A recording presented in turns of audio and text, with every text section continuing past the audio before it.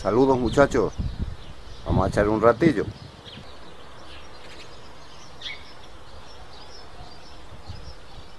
La tierra de Carrasco. una tierra, un mantillo natural que se encuentra, digamos, debajo de los carrascos, la parte que hay alta encima de la tierra y que está compuesta pues desde hojas, bellotas, mm, distintos animalitos muertos, por ejemplo, bichos y demás que se van cayendo, eh, la caca de distintas, digamos, de distintas aves. ¿Qué pasa? Que la tierra de Carrasco es muy rica en muchos nutrientes. Por ejemplo, es muy rica en fósforo, en potasio, en calcio, en magnesio, en hierro, en manganeso, en zinc, en sodio. Pero es que además de los nutrientes que en sí tiene, pues eso, eh, la parte de los carrascos, las hojas, las ramitas, las bellotas que se van pudriendo, al margen de los componentes esos, luego daros cuenta que tiene distintas, bueno, pues caca de las aves que se posan en sus ramas y caen eso, las cacas abajo también, distintos bichos, animalitos que van muriendo y van quedando enterrando, que eso le, le proporciona también una parte rica en nitrógeno. Ya digo que este compost, esta tierra sería ideal para cualquier tipo de cultivo. Daros cuenta que es una tierra que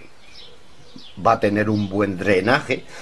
Sabéis que hay algunas plantas, sobre todo árboles, que necesitan, eh, bueno,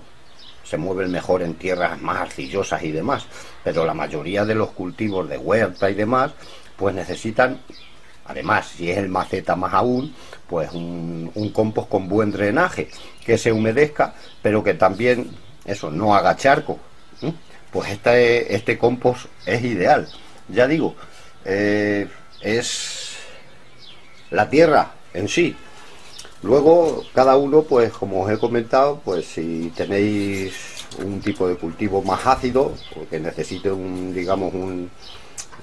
es un compost más ácido, pues ya sabéis, le podéis añadir un poquito más de,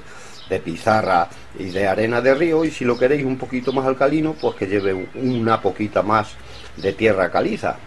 O sea, como os he dicho, hemos hablado aquí un poco de distintas tierras fáciles de conseguir, son digamos las más comunes y más accesibles para la mayoría de la gente de una u otra forma ya digo que los que no tengáis, por ejemplo, acceso a zonas donde podáis recoger, mm, digamos, esta, este mantillo de las encinas, de los carrascos,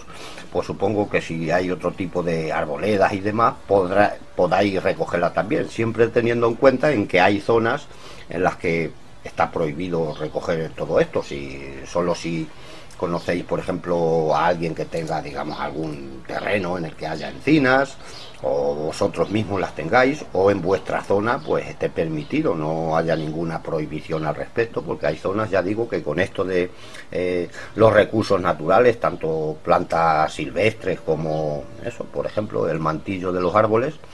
a uno u otro nivel hay zonas que están protegidos pues porque bueno, pueden desaparecer de una u otra forma. Si ya se, se le quitara todas las encinas todos los carrascos por ejemplo del campo todo el mantillo pues eso repercutiría digamos en el hábitat natural tanto en los mismos árboles como en otros digamos en otros aspectos de la naturaleza. Y bueno, que estáis invitados a Macapeta Música, que acabamos de subir hace poco el tercer videoclip